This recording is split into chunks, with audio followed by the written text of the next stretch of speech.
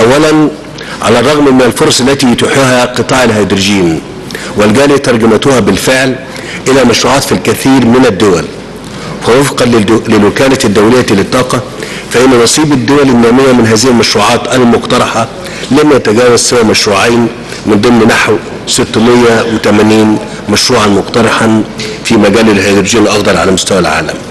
ومن ثم يظهر جليا أن الدول النامية تظل أقل قدرة على الاستفادة من الفرص التي يمثلها التحول نحو الهيدروجين الأخضر بخطى متسارعة وذلك لضعف قدراتها التكنولوجية في هذا المجال الجديد وغياب البنية التحتية اللازمة لنقل وتخزين وخلق سلاسل الإمداد اللازمة للتجارة الآمنة وكذلك لضعف تدفقات التمويل والاستثمارات الموجهة إليها على نحو مستدام.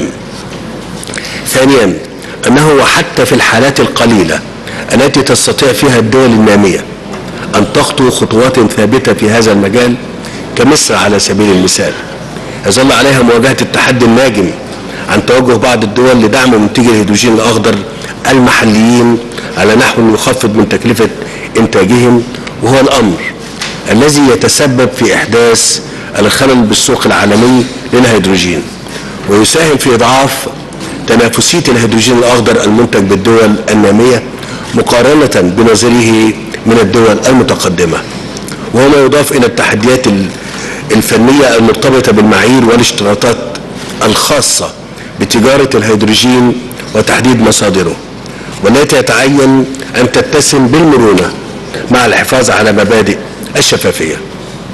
أصحاب الجلالة والفخامة والسمو السيدات والسادة إنما يدعوني إلى طرح هذه الشواغل عليكم هو ثقتي فأن حوارنا اليوم لابد أن يخرج بخطوات تنفيذية واضحة نتوافق عليها جميعا تصل بنا إلى آليات وحلول ناجعة.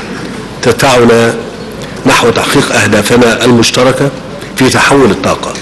من هذا المنطلق واتساقا مع مبدأ التنفيذ الذي نركز عليه في هذه القمة. اسمحوا لي أن أعلن من هنا عن مبادرة جديدة.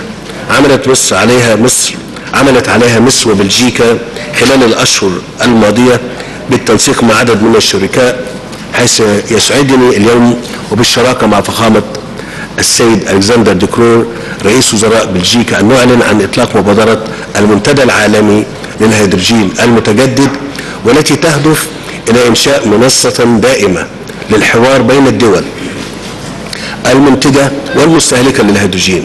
ومع القطاع الخاص والمنظمات ومؤسسات ومؤسسات التمويل العاملة في هذا المجال بغرض تنسيق السياسات والإجراءات وخلق ممرات للتجارة والاستثمار في الهيدروجين بما يساهم في الإسراع من وتيرة الانتقال العادل الذي نصبو إليه جميعاً.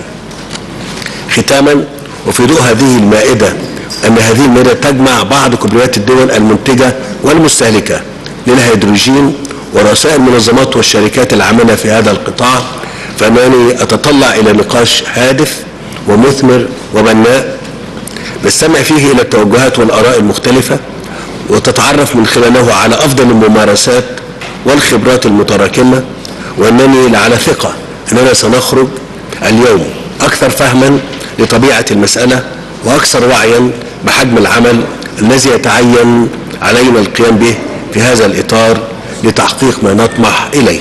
أشكركم وأتطلع إلى حديثنا الممتد.